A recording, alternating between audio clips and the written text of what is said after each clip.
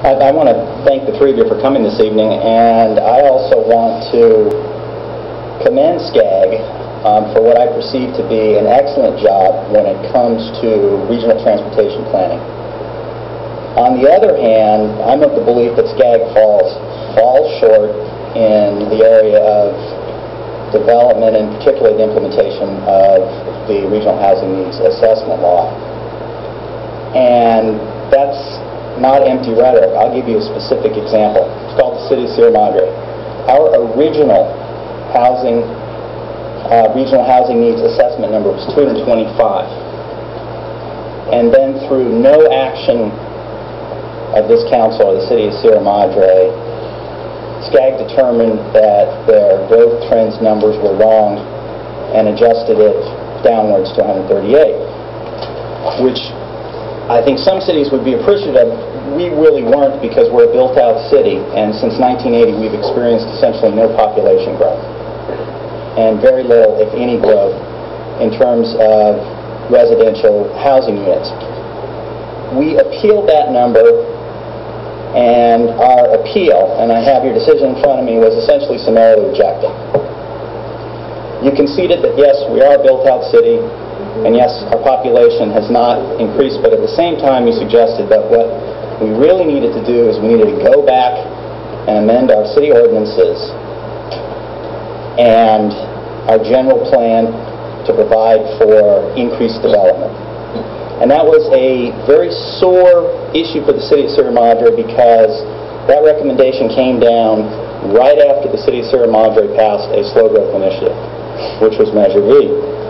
And what I don't believe you three know was during the Measure V campaign, actually a former member of SCAG's Community and Economic and Human Development Committee contacted HCD in Sacramento, Housing and Community Development, and requested that HCD write a letter to Sierra Madre threatening the city with legal sanctions if Measure V passed. Now, subsequent to the rejection of our appeal, our number was reduced even further. It's at 76 right now. But it had nothing to do with SCAG. It had everything to do with some permit applications for our senior housing being approved at the last minute. And the frustration that you're hearing in my voice regarding how the city of Sierra Madre was treated throughout the whole reallocation process, I know is frustration that other elected leaders in other cities have experienced because I got three pages of appeals and requests for revisions that came before SCAG. And my guess is most of those were rejected in the same some summary fashion that you rejected our, our request. I also know um, that there's a very powerful and influential group of elected and appointed politicians in California who have come out against the regional housing needs assessment process, finding that it's, quote, cumbersome, expensive, politically difficult, and of questionable value. And I was surprised to learn that that's SCAG's leadership. This is from one of your own reports. So the, the problem I'm having with rubber stamping our annual dues to SCAG is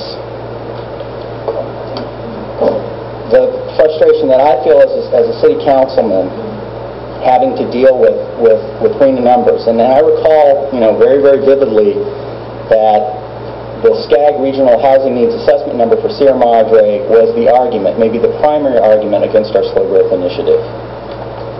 We cannot pass the slow growth initiative because we have to comply with SCAG's 138 number.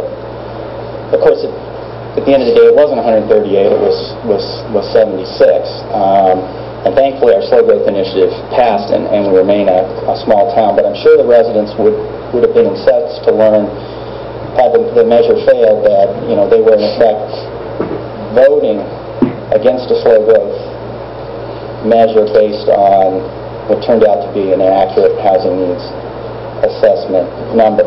And given that the SCAG leadership itself thinks that the process of, is of questionable value, I'm very uncomfortable legitimizing what SCAG does with respect to the RHNA allocation, again, by approving um, or rubber stamping the payment of $1,000 or $2,000 or $3,000. Councilman